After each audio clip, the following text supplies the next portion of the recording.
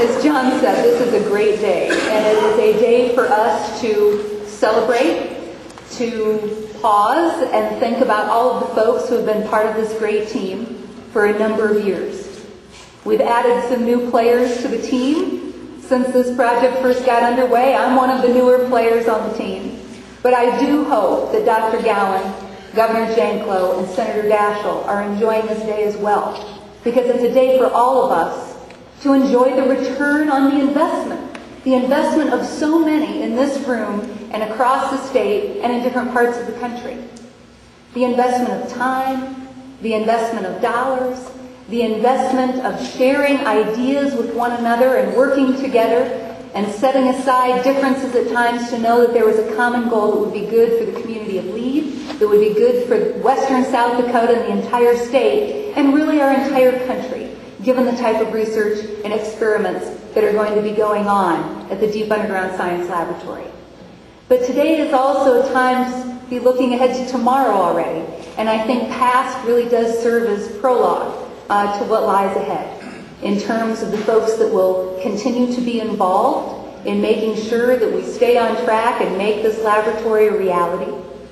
I think it's passed as prologue in a couple of different ways. Certainly for those of us as individuals that care so deeply about moving this project forward here in South Dakota. Again, having worked together so closely, having benefactors like Denny Sanford, who believed in this project and wanted to play an important role, having leaders and the remarkable efforts of Governor Rounds working with the state legislature, working with Dave Snyder and the members of the board and the mayor and people here locally to get us to this point is the same kind of working together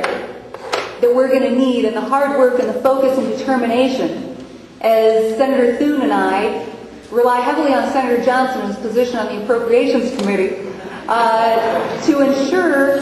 that we are working with Dr. Lesko and the other scientists and with the governor so that we continue to develop our strategic plan, work the plan, know what each other is doing, to make sure the resources are there for the design of the laboratory, for the design of the experiments, and for the ultimate construction in the next few years of this world-class institution that provides our young people from the South Dakota School of Mines and Technology, from Black Hills State University, SDSU, USD, our entire university system, working in partnership with some of the most brilliant individuals across the country and across the world to enhance our body of knowledge. I think it's an opportunity that we have to sit back and think about in the long view because the opportunities it provides are a little bit hard to realize at this point in the short term. But it allows us to know and have a sense of confidence that as we continue to meet the challenges of a world of globalization, that our national economy will continue to maintain its competitive edge because of our knowledge base and the investments that our country has always made